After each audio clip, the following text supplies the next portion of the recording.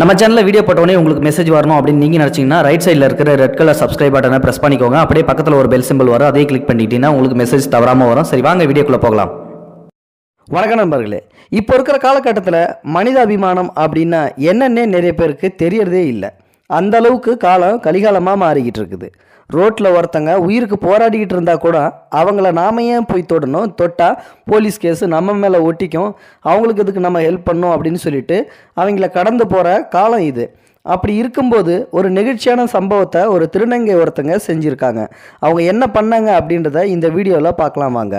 திருச்சி மாவட்டம் லால்குடி பகுதியை சேர்ந்தவங்க பேர் தான் சத்யாதேவி. இவங்க நிறை மாத கர்ப்பிணியாக இருக்காங்க. இவங்களுக்கு சீமந்தமும் முடிஞ்சிடுச்சு. இப்போது ஒன்பது மாதத்தை நெருங்கிட்டு இருக்காங்க.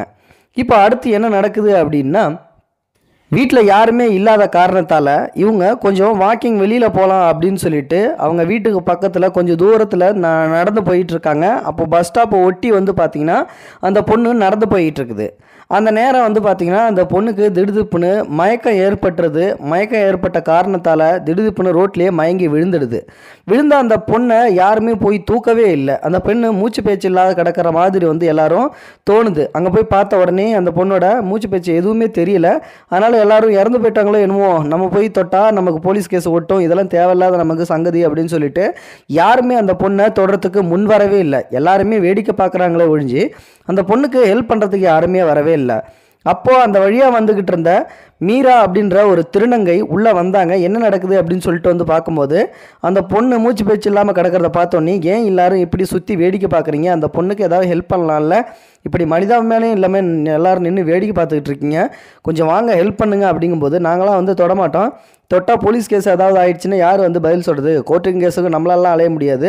தேவையில்லாத இது வந்து பிரச்சனையை உண்டாக்கும். அதனால் நான்லாம் வரமாட்டேன் அப்படின்னு சொல்லிட்டு ஆளாளுக்கு வந்து பேசுகிறாங்களே ஒழிய அந்த பொண்ணுக்கு யாரும் வந்து உதவி பண்ணுற மாதிரியே இல்லை. இப்போ அடுத்து என்ன நடக்குது அப்படின்னா நீங்களாம் வந்து மனுஷங்களா இங்கே நின்று வேடிக்கை பார்க்க தகுதி இல்லாதவங்க ஒழுங்காக போயிடுங்க அப்படின்னு சொல்லிட்டு அவங்க எல்லாத்தையும் வந்து எச்சரிச்சுட்டு அதுக்கப்புறம் அந்த திருநங்கை மீரா என்ன பண்ணுறாங்க அப்படின்னா உடனடியாக ஆம்புலன்ஸுக்கு வந்து கால் பண்ணுறாங்க நேராக நூற்றி எட்டு ஆம்புலன்ஸு அங்கே அந்த இடத்துக்கு வருது சம்பவ இடத்திற்கு. வந்த உடனே அந்த பொண்ணை செக் பண்ணி பார்த்துட்டு பல்ஸ் எல்லாம் கரெக்டாக தான் இருக்குது ஒன்றும் இல்லை பிரச்சனை இல்லை சரி பண்ணிடலாம் அப்படின்னு சொல்லிட்டு நேராக ஹாஸ்பிட்டலுக்கு வந்து கூட்டிகிட்டு போகிறாங்க அங்கே போனதுக்கப்புறம் வந்து பார்த்திங்கன்னா அந்த பொண்ணுக்கு பிரசவ வலி ஏற்படுது. அதுக்கான ம- ஏற்பாடை வந்து செய்கிறாங்க இதனால் வந்து பார்த்திங்கன்னா அந்த பொண்ணுக்கு வந்து சிசேரியன் பண்ணி தான் அந்த குழந்தைய வெளியில் எடுக்க முடியும் அப்படின்ற ஒரு சுச்சுவேஷனுக்கு வருது. அதனால் அந்த பொண்ணுக்கு வந்து முன்ஜாமீன் வந்து கையெழுத்து போடணும். இவங்க வந்து கே போட்டால் தான் வந்து அவங்க வீட்டில் வந்து போட்டால் தான் இந்த மாதிரி ப பண்ண முடியும் சிசேரியன் அப்படின்னு சொல்லிட்டு வந்து சொல்கிறாங்க அதனால் நான் என்னங்க நான் போடுறேன் அப்படிங்கும்போது அது ரிலேஷனில் தாம்மா போட முடியும்.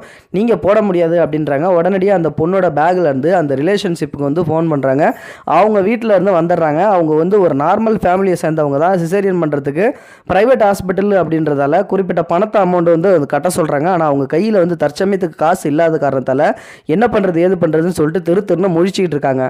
அப்போ தான் வந்து பார்த்திங்கன்னா அந்த திருநங்கை தன்னோட கையில் இருந்த காசை பயப்படாதீங்க நான் கட்டுறேன் அப்படின்னு சொல்லிட்டு அவங்க கையில் இருந்த காசை அந்த ஹாஸ்பிட்டலுக்கு கட்டி முதல்ல கையெழுத்து போடுங்க சிசேரியனை வந்து நடக்கட்டும் அப்படின்னு சொல்லிட்டு வந்து சொல்கிறாங்க அதுக்கப்புறமா வந்து பார்த்திங்கன்னா அந்த ஆப்ரேஷனும் சக்ஸஸ்ஃபுல்லாக முடியுது. குழந்தையும் வந்து வெளியில் எடுத்துடுறாங்க. பிறந்த அந்த பெண் குழந்தைக்கு இந்த திருநங்கையோட பேரையே வந்து பார்த்திங்கன்னா மீரா அப்படின்னு சொல்லிட்டு வந்து வைக்கிறாங்க. அது மட்டும் இல்லை இந்த திருநங்கையை கூப்பிட்டு ரொம்பவும் வந்து நன்றி தெரிவிக்கிறாங்க. கையெடுத்து கும்பிட்டு ரொம்ப நன்றி. உங்களால் தான் வந்து நான் இன்றைக்கி உயிரோடு இருக்கேன் அப்படின்னு சொல்லிட்டு மயக்கம் தெளிஞ்சதுக்கப்புறம் அந்த பொண்ணு சத்யாதேவி ஏந்திரிச்சு அந்த திருநங்கைக்கு வந்து ம நன்றி தெரிவிக்கிறாங்க. அதுக்கப்புறமா வந்து பார்த்திங்கன்னா அங்கே உள்ள எல்லாருமே வந்து இந்த திருநங்கையை வந்து பாராட்டுறாங்க. திருப்பி அதுக்கப்புறம் வந்து இந்த பொண்ணு செலவுக்கான காசை வந்து ரெடி பண்ணிடுறாங்க. இந்தாங்கம்மா நீங்கள் ஹாஸ்பிட்டலில் கட்டின பணத்துக்கு வந்து இந்தாங்க திருப்பி நீங்களே வச்சுங்க அப்படின்னு சொல்லிட்டு வந்து கொடுக்குறாங்க. அதுக்கு அந்த திருநங்கை வந்து இந்த பணத்துக்காக தான் வந்து நான் வந்து செ- இது செய்யவே இல்லை. அப்படி நான் செஞ்சுருந்தேன்னா வந்து எப்பயோ விட்டுட்டு போயிருப்பேன். அந்த நான் நாலு பேர் வேடிக்கை பார்த்தாங்க பார்த்துலையா அதில் நானும் ஒரு ஆளாக நின்று பார்த்துருப்பேன். என்கிட்ட மனிதநேயம்ன்ற ஒன்று இருந்ததால தான் அதனால தான் வந்து உங்கள் பொண்ணை கொண்டாந்து இங்கே நான் ஹாஸ்பிட்டலில் சேர்த்தேன் இந்த பணம் எனக்கு தேவையில்லை அப்படின்றாங்க. சரி பரவாயில்ல உங்கள் சார்பாக நாங்கள் ஏதாவது ஆசிரமத்துக்கோ இல்லாது இல்லாதவங்களுக்கு வந்து உதவி பண்ணுறோம் உங்கள் சார்பாக அப்படின்னு சொல்கிறாங்க நல்லது அப்படின்னு சொல்லிட்டு அந்த திருநங்கையை வந்து வாழ்த்து சொல்லிட்டு அங்கேருந்து வந்து போயிடுறாங்க. அதுக்கப்புறமா அந்த பொண்ணு ஒரு பதினஞ்சு நாள் கழிச்சு வீடு வந்ததுக்கப்புறம் இந்த சம்பவத்தை எல்லாத்தையுமே தன்னுடைய ஃபேஸ்புக் பக்கத்தில் இந்த மாதிரி திருநங்கை ஒருத்தங்க எனக்கு ஹெல்ப் பண்ணாங்க அப்படின்னு சொல்லிட்டு மொத்த சம்பவத்தையுமே வந்து சொல்கிறாங்க அதுக்கப்புறமா அந்த திருநங்கைக்கு அந்த சமூக வலைத்தளங்களில் வந்து பாராட்டுகள் குவிந்த வண்ணம் வருகின்றது. நீங்களும் அந்த திருநங்கைக்கு பாராட்டு தெரிவிக்கணும்னு நினச்சிங்கன்னா இந்த வீடியோவை வந்து லைக் பண்ணுங்கள் உங்கள் ஃப்ரெண்ட்ஸுங்களுக்கு ஷேர் பண்ணி விடுங்க. கூடவே நம்ம சேனலையும் சப்ஸ்கிரைப் பண்ணி விட்டுருங்க. தேங்க்யூ ஃபார் வாட்சிங் இது போன்ற செய்திகளை உடனுக்குடன் நீங்கள் தெரிந்து கொள்ள மறக்காமல் எங்களுடைய சேனலை சப்ஸ்கிரைப் செய்யவும் கூடவே பக்கத்தில் வரும் பெல் ஐக்கானையும் கிளிக் செய்யவும்.